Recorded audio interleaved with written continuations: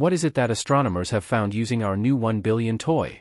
It will be years before that project becomes a reality if it goes as planned. The journey to Proxima b will take about 20 years, so realistically, it will be several decades before we can confirm if there is indeed life on that planet.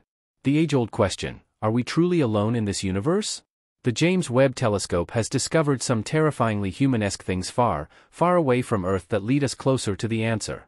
Our search for life outside of us has been rampant throughout each human civilization, so much so that we have thousands and thousands of media, literature, and theories on this subject. Our wonder regarding our place and loneliness in the universe has been constant, as if it is ingrained inside of us to always search for a companion no matter how alien-like. Well, we just might be getting closer and closer to the answers we truly want, but are they truly the answers we are looking for, or are they much more terrifying? Join us as we explore the latest discovery in the realms of galaxies and planets on the quest to find something we just might not be prepared to witness. Lights far, far away. Scientists have discovered what could be the most groundbreaking discovery in history. Back in 2021, when the James Webb Space Telescope was scheduled to launch, a very interesting hypothetical question was raised about the capabilities of our technology. The question was whether in the future our telescopes could detect artificial light on another planet. For example, Proxima b, the closest exoplanet to Earth, is in the habitable zone of our nearest neighbor, the dwarf star Proxima Centauri, about 4.25 light-years away. Since the exoplanet was 20 times nearer to its star than the Earth is from the Sun, Proxima b was believed to be tidally locked with a permanent day side and night side, similar to our moon which faces Earth with the same side at all times. A hypothetical technological civilization on Proxima b might transfer heat and electricity from the day side to the night side using photovoltaic cells that generate electricity out of starlight. Subsequently, in a paper with Manasvi Lingam as one of the researchers, it was shown that significant coverage of the day side by solar panels could be detected with future telescopes. Since the JWST was more advanced, it would allow us to extend our search for artificial lights to habitable exoplanets like Proxima b. Now in 2024, it is possible that the James Webb Space Telescope did just that. Using its higher sensitivity and bigger range of capabilities, the JWST might have discovered the lights we were looking for and possibly hurled us into another big surge of human evolution. But first, let us dive into the world of planets and exoplanets to learn how all this was even possible. James Webb's mission explores Proxima Centauri's secrets. Throughout history, humans have wondered about the nature of the universe. What we are, where we come from, and where we go are common yet extremely difficult questions man has tried to answer as soon as he gained consciousness. Now, in the age of exponential technological advancement, one does wonder if we are any closer to any of the above questions. If you would ask a philosopher, he would probably say we are still at level zero of understanding ourselves in the universe. However, ask an astronomer the same thing and watch him jump up and down in excitement as he rushes to tell you the latest discovery humans made about the universe using their nifty tools. These tools, although not paid much attention to by the average public, are quite literally a manifestation of human evolution itself. We now have the world at our fingertips and it is time we move forward and get the universe at our fingertips as well. One such way to do that has been deduced by scientists and astronomers. It is through the technology we harness. A specific creation of that said technology is now responsible for the recent discovery of what might be light on a different planet light years away. Yes, we're talking about the James Webb Space Telescope. The James Webb Space Telescope is the creation born out of the legacies of human expeditions into space to answer some ever-present questions. Are we alone? Who is out there? Where do we begin, and where do we end? Well, this infrared astronomy tool has already begun answering these questions, although partially.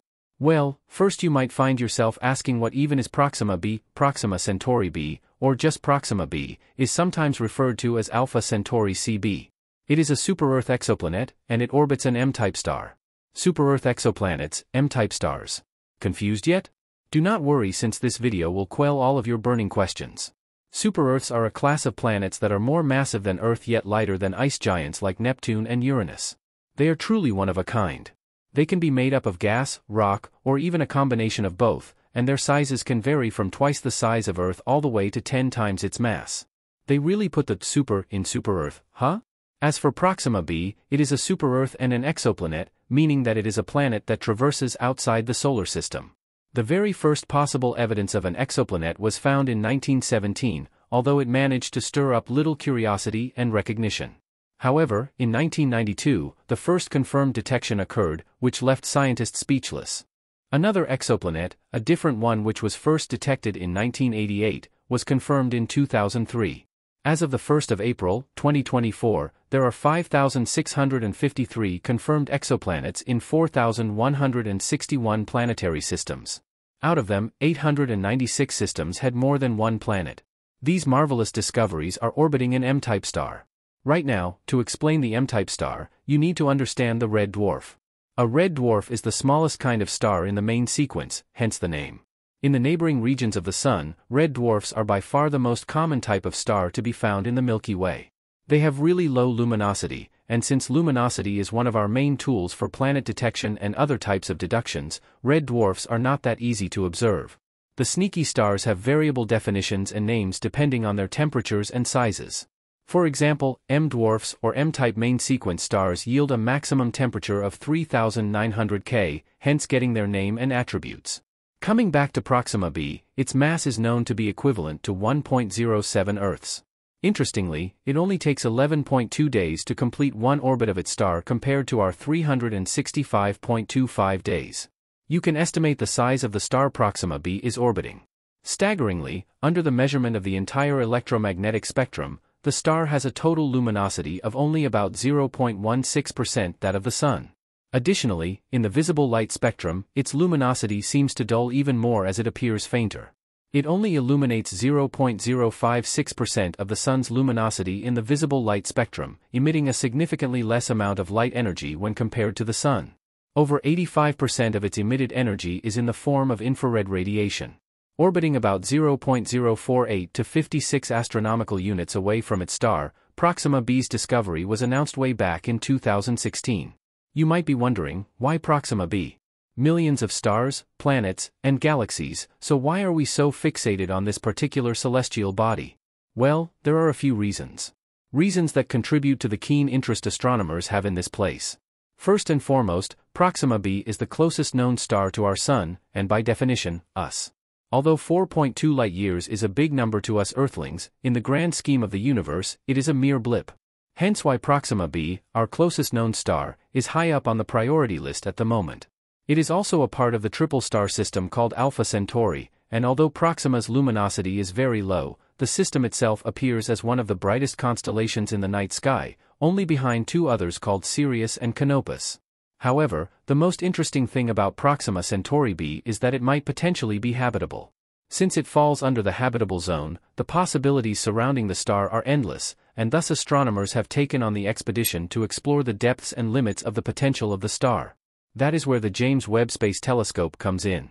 The four key goals of the JWST are to search for light from the first stars and galaxies that formed in the universe after the Big Bang, study galaxy formation and evolution, understand star and planet formation, and to study planetary systems and the origins of life.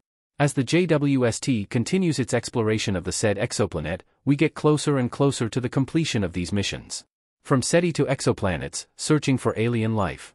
So what exactly is SETI, one might ask? Considering that humans have always been a curious species, poking and prodding into literally anything and everything that moves and doesn't move, it makes sense that a quest like SETI came into existence on such a large scale. Imagine that God has organized a grand cosmic treasure hunt, but with a twist. Instead of gold, we are tasked to be on the lookout for signals, more specifically, electromagnetic whispers from civilizations beyond our wildest dreams. SETI is short for the Search for Extraterrestrial Intelligence, and it is a collective effort of multiple organizations, researchers, and, of course, giant radio telescopes working to capture any whispers from the universe. While we as a species have come a long way from primitive tools to advanced space telescopes, the universe and its cosmic signals remain mostly an enigma. Although we have theories of the beginning of the universe and what lies beyond, we are still as blind as our forefathers were to the ultimate truth of the vastness of it all. SETI's mission is to find extraterrestrial civilizations and prove that we are not the only ones in this grand cosmic theater. It makes sense that we are curious about the existence of other intelligent beings.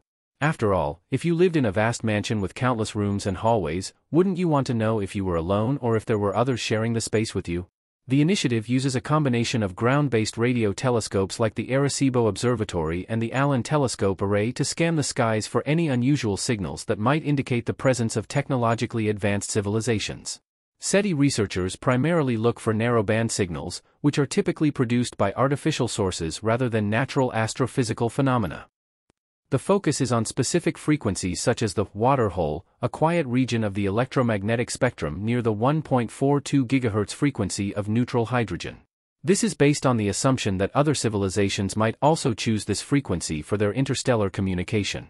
As humans, our desire to connect and communicate is one of our most profound traits, and it is this desire that drives SETI. We have always sought to understand the world around us, to find patterns and signals in the noise, and to make sense of the chaos.